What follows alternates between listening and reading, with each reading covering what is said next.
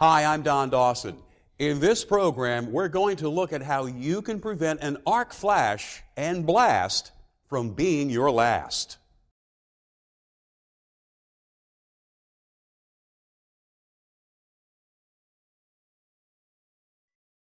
Electricity. It's so common in our homes and workplaces that it's easy to take it for granted and to forget about its hazards. But with more than a thousand people being killed every year in electrical accidents and about 30,000 being injured, electrical safety literally is a matter of life and death. Electricity poses two major hazards to those who work with or around it. The most intense is arc flash, a sudden, violent release of electrical energy. Its powerful heat and blast effects can cause severe injuries and fatalities. The second is shock. When electric current passes through your body, it can cause burns, internal injuries, cardiac arrest, even death. Many people confuse the two and think that arc flash is just a type of shock, but it's not. So let's first look at what the difference is.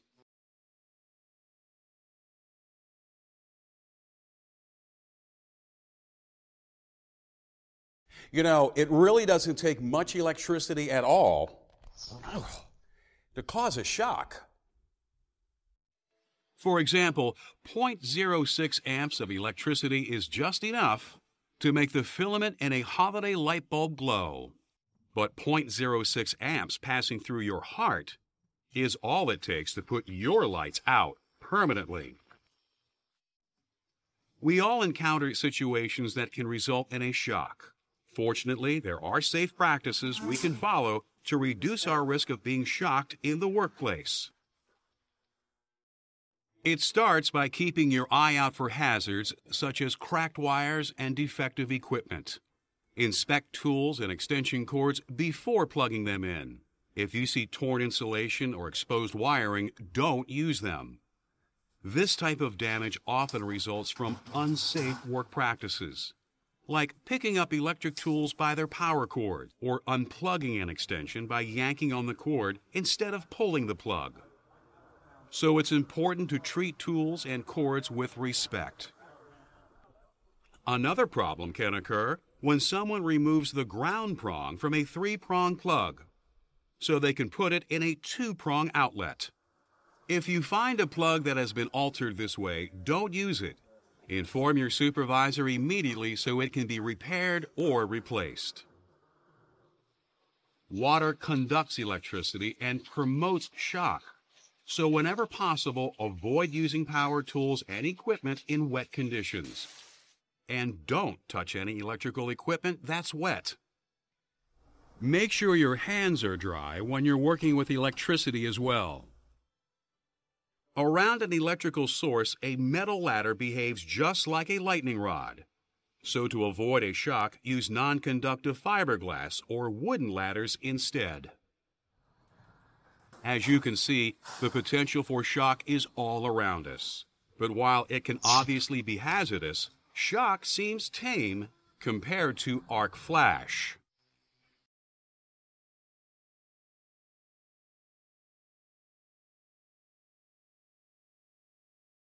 Arc flashes are more common than you might think. Chances are you've witnessed them many times without knowing it. When you see a flash of lightning, you're seeing an arc flash. It gives off intense light and loud noise. As lightning comes closer, you get a better idea of its violence and destructive power. And if it gets too close, you might not survive it.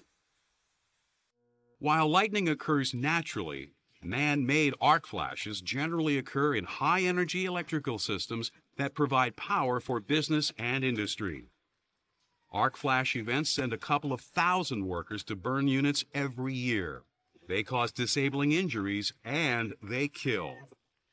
To better understand this hazard, let's take a closer look at what an arc flash is and how man-made arc flashes happen. Most of the time, energy moves safely through electrical systems, unless something happens to divert the power. When diverted electricity jumps through the air from contact to contact or from a contact to ground, that's an arc flash. This can occur spontaneously when corrosion or conductive dust builds up in equipment. But most arc flashes result from mistakes that are made when someone is working on or near an electrical system. Touching a probe to the wrong circuit, or dropping a metal tool into the system, even digging a backhoe into an underground cable can all cause arc flash. Like lightning, these types of arc flashes happen very, very fast, releasing huge amounts of light and heat energy. Temperatures can reach 35,000 degrees Fahrenheit, three and a half times hotter than the surface of the sun. So an arc flash will instantly superheat the air and can vaporize nearby structures and equipment. Another phenomenon that is often associated with an arc flash is arc blast. Basically, the equipment that is the source of the arc flash explodes. This can throw melted metal and debris outward at nearly the speed of sound.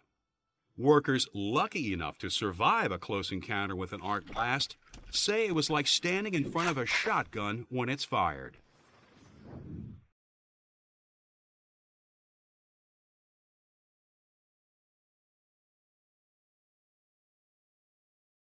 Arc flash trauma is not a pleasant subject. You might wonder why we're talking about it at all. But by examining the physical hazards of arc flash, we can gain a better understanding of what we can and cannot do to protect ourselves from it, and what type of PPE should be used in arc flash situations. The light released by an arc flash is literally blinding. Its heat can cause first, second, and third degree burns. It can make everyday clothing burst into flame and cause some synthetic fibers to actually melt into your skin. And when your clothes burn or melt, your body gets burned too, which means you could die from your injuries. This is why electrical workers always put on arc rated protective clothing when they approach a potential arc flash source. The arc rating describes how much heat the clothing can resist without damage. To calculate the arc rating you need for a particular task, you determine how many units of heat you would receive where you are working if an arc flash occurred in that equipment. You then can choose clothing with an arc rating that meets or exceeds the protection level for that amount of heat. Other arc rated PPE, such as gloves, safety glasses, or face shields, is selected in the same way. But the heat energy generated by an arc flash is not the only hazard. There is also the arc blast to consider. It can throw you across the room, causing additional injuries such as a concussion and broken bones. It can rupture your eardrums and collapse your lungs. It can throw equipment fragments just like shrapnel from a grenade.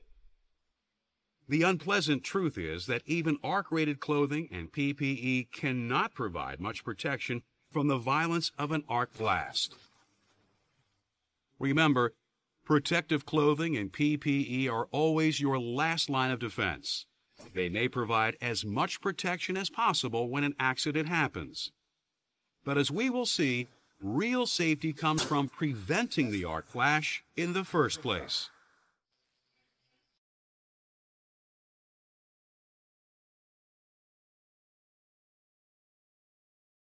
The best way to reduce the risk of arc flash is to create an electrically safe working condition before any electrical work begins. This starts with powering down or de energizing the equipment to be worked on. But there is more to it than that for good reason.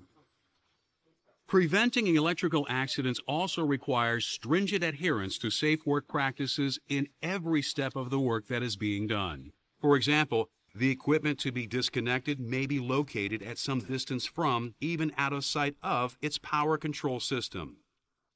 Once the energy has been turned off, it is all too easy for someone who can't see people working on the equipment to turn the electricity back on unexpectedly.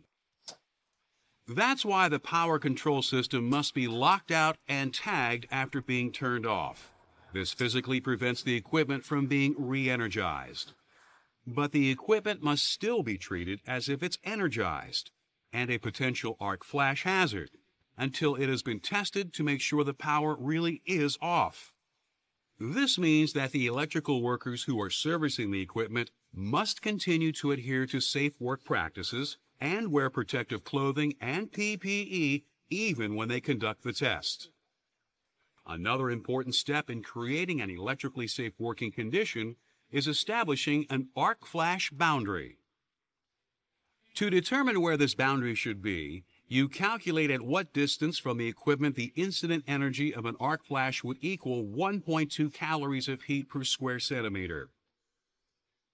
This distance is where the arc flash boundary will be set up. The boundary must be clearly labeled and must physically restrict access to the area. Unqualified electrical service personnel and other workers may not cross the arc flash boundary.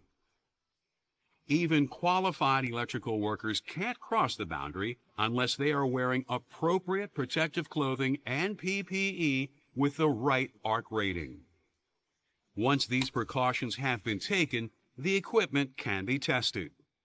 Only when it is verified that the power is off does an electrically safe working condition exist. That's when actual maintenance or repair of the equipment can begin without any risk of arc flash or electric shock.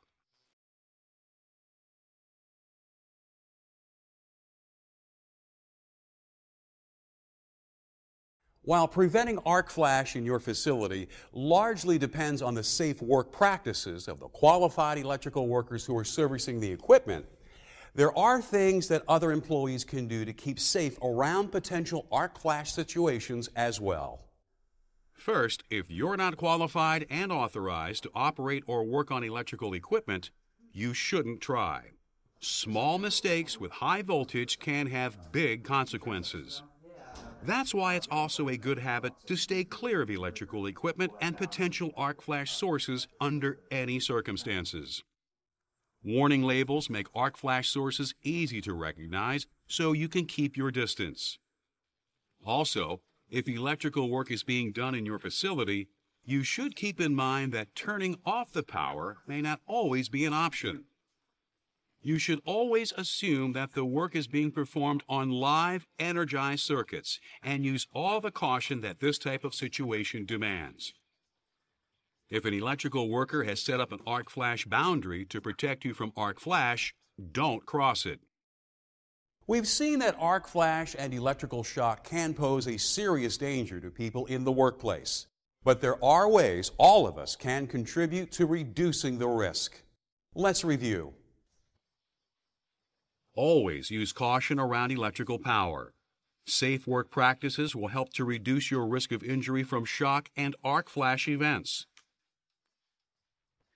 To avoid being shocked, inspect power tools and other electrical equipment for damage before you use them. Take them out of service if you find problems. Avoid using electrical equipment in wet conditions if at all possible. An arc flash is a violent release of electrical energy that can cause severe damage and injury through a combination of heat and blast effects. PPE must be worn to lessen the physical risks of an arc flash. The most effective way to protect against an arc blast is to prevent it from occurring in the first place. The best way to keep an arc flash from happening is to create an electrically safe working condition by turning off the power. Unless you're trained and authorized to do electrical work, stay away from power systems, especially when they're undergoing maintenance or repair. You can't take electrical safety for granted. But now that you understand the risks and how to avoid them, you have the power to get through every workday safely.